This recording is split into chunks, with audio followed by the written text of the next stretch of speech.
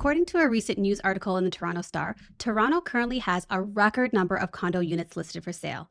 In this video, we'll explore this article and find out why we're currently seeing a surplus of condo units on the market, and we will also discuss possible reasons why these condo units are not selling. Hi there and welcome. For those of you that don't know me, I'm Sonia Ramgobin, realtor with Remax Rural Properties, servicing the Durham region and GTA. Let's get right into this news article. So, the article states the following The Toronto area had the highest number of condo units for sale for any month in recent history. So, to give you some perspective on the number of units currently on the market, according to TREB stats, we're looking at over 8,000 condo units listed for sale in the month of May, and this is going on into the month of June as well. Keep in mind that 8,000 plus units the article is talking about is referring to condo apartment units. This number does not include condo townhouses. So let's go over one of the questions that many of you may be asking. Why are we seeing so many condo units up for sale? Well, according to the article, they believe the current spike is largely due to investor owned units flooding the market. Let me give you some background information to help you explain this further. So, about three to five years ago, many people purchased pre construction condo units, and now those condo units are being completed. In other words, they are now being built and ready to be lived in. Like mentioned in the article, it's important to keep in mind that many of the people that purchase these pre construction units purchase them not to actually live in them, but purchase them as investments. Many of these investors were hoping to sell their condo units when the sale was finalized and profit from the increase in value. However, due to the lack of interest in buyers to purchase these units, many of these investors are struggling right now.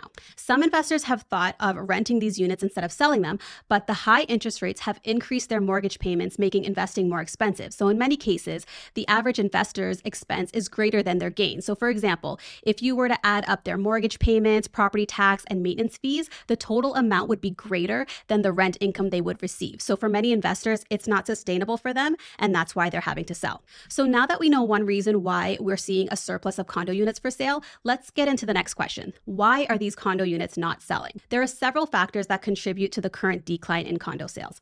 So, based on this article, one of the primary reasons these condos are not selling is due to high condo prices. Many buyers don't feel that it's worth it to purchase a condo unit at the prices that they are currently listed for. In other words, many potential buyers feel that they aren't getting enough space for the price they have to pay for these units. Another factor impacting condo sales is high interest rates.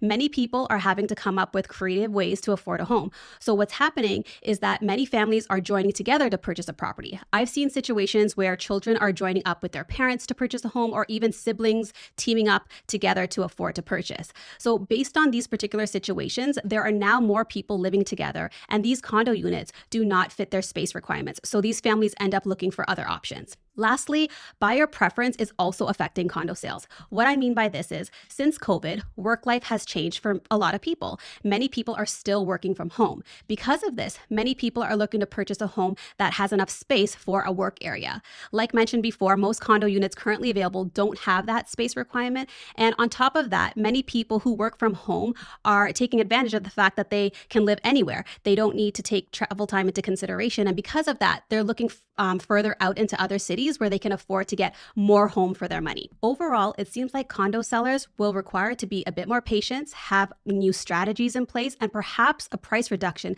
to get their units sold. On the other hand, for first time buyers that may appreciate condo living, this surplus of condo units could mean finding a home at a more affordable price. So there's lots to consider here. I hope this video gave you an in depth explanation of why we are currently seeing a surplus of condo units currently up for sale and a better understanding of why these units are taking longer to sell. As always, if you have any questions or comments, please feel free to reach out. I'm always here to help. Thank you so much for watching, and I'll see you in the next video.